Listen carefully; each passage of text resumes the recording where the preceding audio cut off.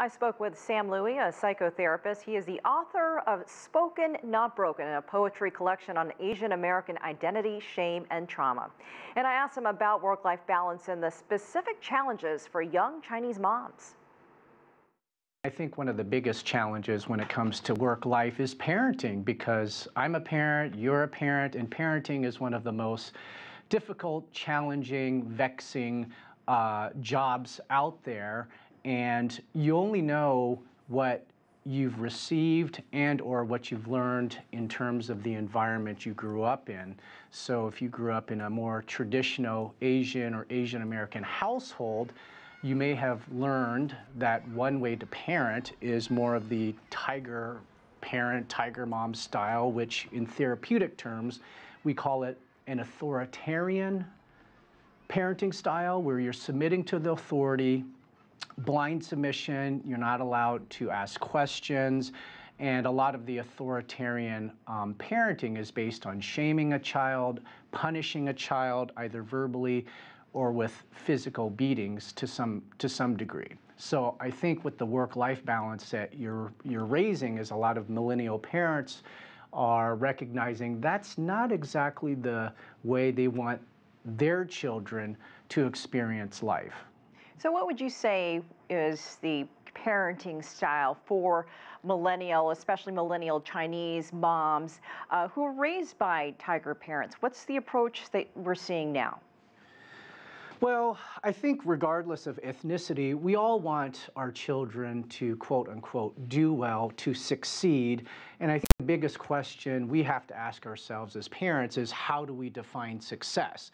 So if we start there, that can help in terms of a parent recognizing what parenting style would work best. Because as a therapist, as a parent, um, as somebody who just really cares about the Asian community, I believe success is instilling a sense of emotional well-being, emotional health, and helping children really develop the natural skills and talents that they uh, have within themselves. So I know that there's this book that came out recently where panda parenting um, is a new term. Um, the book was titled How to Raise Successful People, Simple Lessons for Radical Results. And the author mentions, yes, she still has high expectations, just like Tiger Moms. But unlike Tiger Moms, there's a lot of praise, there's a lot of emotional nurturing, and maybe one of the key differences with Tiger parenting, where parents are the ones who are dictating and leading, when it comes to panda parenting or maybe a softer approach, parents act more as guides, and the children lead to a certain degree.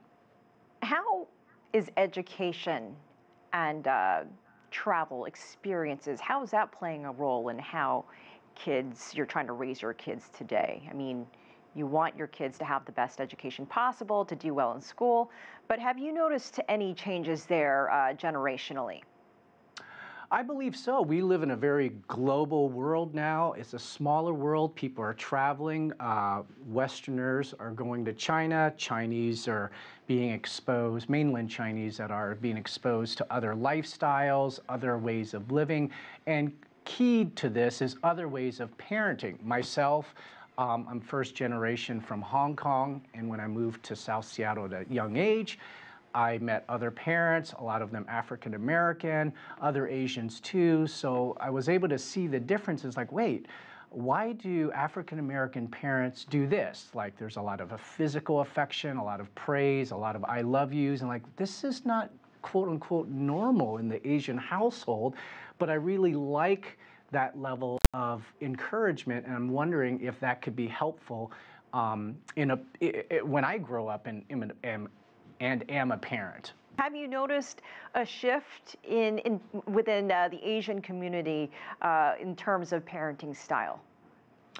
And can we yes. can we can we see it shift again? Uh, possibly. I think we're already seeing a big shift. I was just walking in my neighborhood, and I, it's so normative to see men, Asian men, ethnic men, holding their children in their hands. Whereas maybe I don't remember ever my dad holding my hand because that was just not considered masculine. Uh, we didn't really understood, understand the implications of physical touch and verbal praise. So we're seeing a lot of that now um, in terms of Asian American parents, a lot of verbal praise, a lot of shifting in terms of maybe too much so when it comes to helicopter parent. We care so much about their uh, future that we don't give them enough room to breathe. So, this other concept of panda parenting, if you will, of allowing children to lead and parents acting as a guide, I think is a nice balance.